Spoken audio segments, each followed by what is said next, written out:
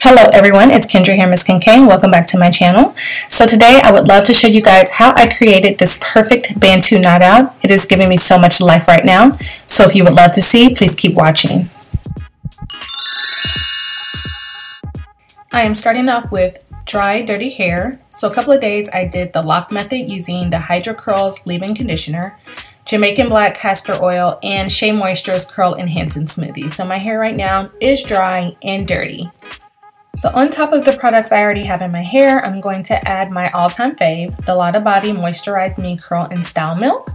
I pretty much use this to set all of my styles. I love this stuff. You'll also need bobby pins and a water bottle to spray your hair if it's drying out. So I'm going to start off with a section of hair. I am going to saturate my hair just a little bit with water. Then I'm going to apply my product and work it in really well. Also, I'm going to make sure that my hair is detangled before I start twisting.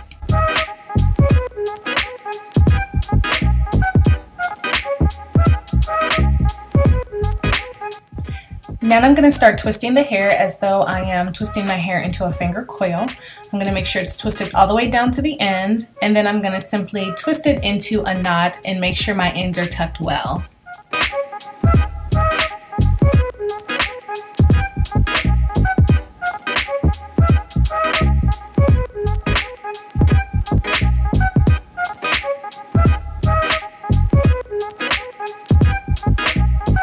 Now that I've created my knot, I have to make sure that it's secure. My hair is fine in this section, so it will unravel on me if I don't secure it with a rubber band or a bobby pin of some sort. So I'm going to take a bobby pin and I'm going to slide it in the root just to make sure that my ends stay tucked and that the Bantu knot stays uh, together and does not unravel while drying. Now I'm going to repeat the same steps throughout my hair.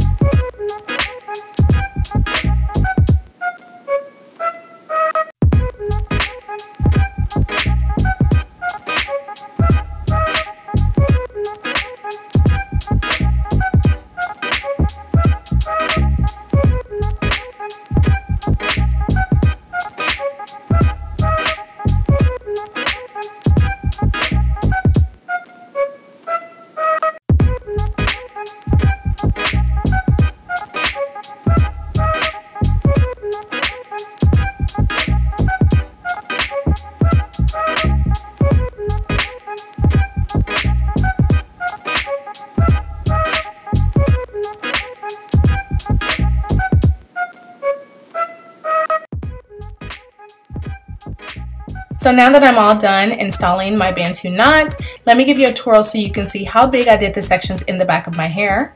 It took me about an hour total to install all of the Bantu knots, which is not that long. So now I'm just going to wrap my hair in a satin scarf. I am going to let this style air dry for a long time. More than a day, I think I let this air dry. The longer, the better.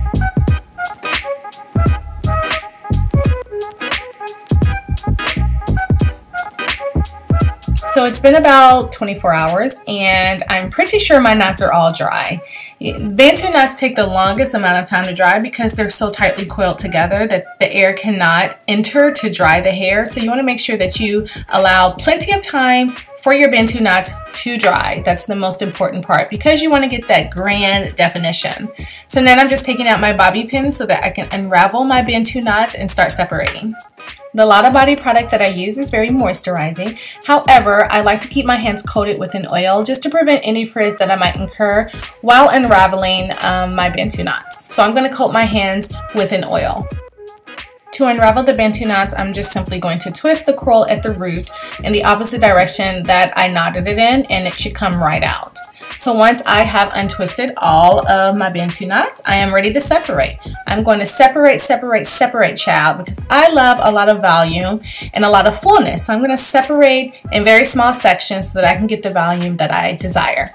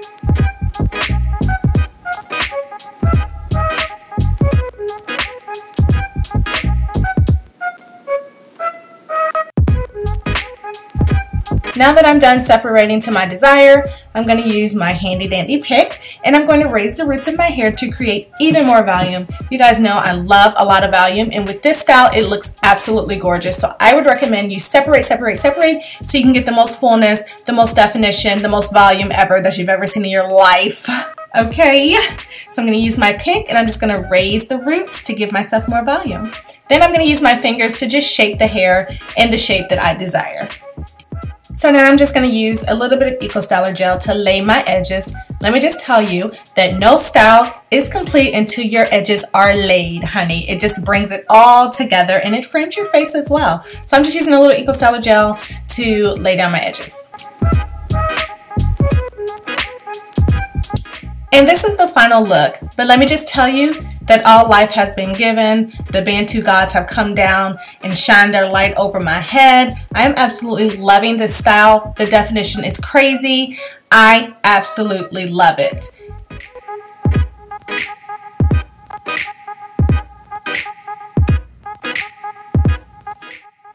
I hope you guys enjoyed this video. I would recommend you guys keep up with me on Instagram to see how I preserve this style. I guarantee you that I have all of the answers to your questions on my Instagram. It's at Miss Kendra K. And for those of you that are not Instagram fiends like I am, I also post everything on my Facebook page, which I will link down in the description box. So if you want to know more tips on creating the perfect Bantu knot out, please visit my blog, which I will also link in the description box. As always, I thank you guys so much for watching and I will talk to you guys soon. Bye. Thank you.